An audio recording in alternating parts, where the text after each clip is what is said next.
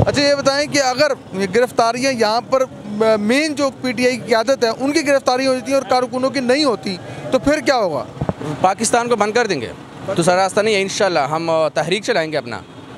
या तो हमें भी बंद कर देंगे साथ नहीं तो उनको भी छुड़वाएँगे।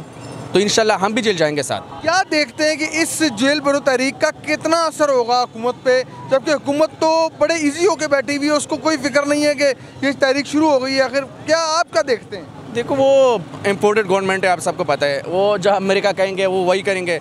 हम अपना तहरीक चलाएँगे हम अपना कोशिश करेंगे इन के इलेक्शन हो जाए।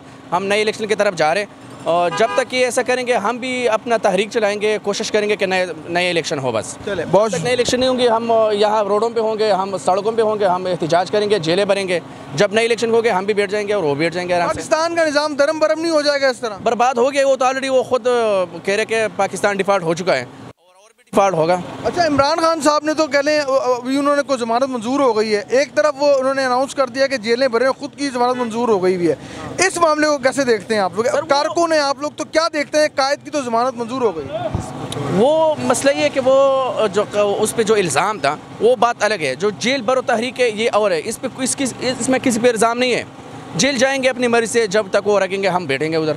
खान पे वो इल्ज़ाम लगा रहे हैं वो वो तो पकड़ रहे उसको कि यार हम इसको अंदर करेंगे तो कारकुन मुंतशर हो जाएँगे तो हमारा हुकूमत बच जाएगा, उससे कुछ नहीं होगा, फ़र्क नहीं पड़ेगा।